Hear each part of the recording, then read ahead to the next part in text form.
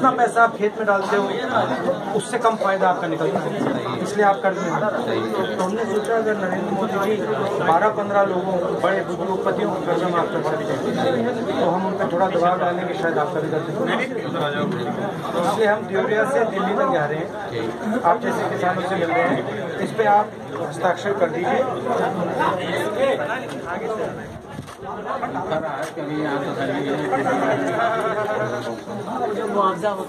है, इस पे आप कर दीजिए कैसे करिए, देखिए, इस पे आइए। तो ये यहाँ हो जाएगा अच्छा। छोड़ देते हैं।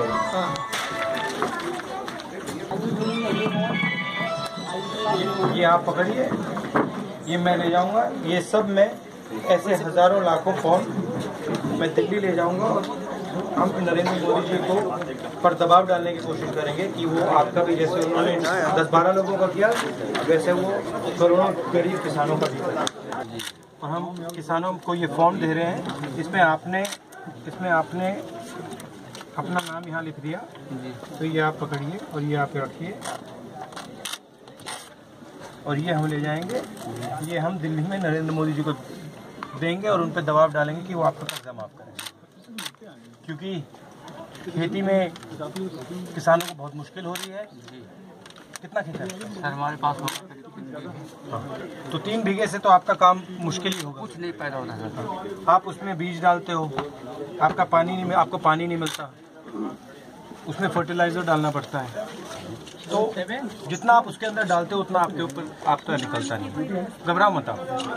हम आपकी मदद करने आए हैं हाँ? और आपके ऊपर ये छब्बीस हज़ार रुपये का कर्जा है। तो हम चाहते हैं कि आप जैसे लोग जो इस देश की रोज़ मदद करते हैं, आपको भी थोड़ा सा इस देश का फ़ायदा मिले और आपके बच्चों को भी, बच्चियों को भी शिक्षा मिले और उनका भी अच्छा भविष्य हो। इसलिए हम देवरिया से दिल्ली यात्रा कर रहे हैं। रोल मत बेटा। ठीक हो जाएगा। हमें लगता है अगर हमने मोदी जी पे दबाव डाल दिया तो आपकी और आप जैसे लाखों किसान की मदद कर देंगे उनके हाथ में। मगर अगर वो नहीं करेंगे तो जैसे ही हमारी सरकार आएगी, मैं आपको गारंटी देता हूँ, हम करके दिखाएँगे।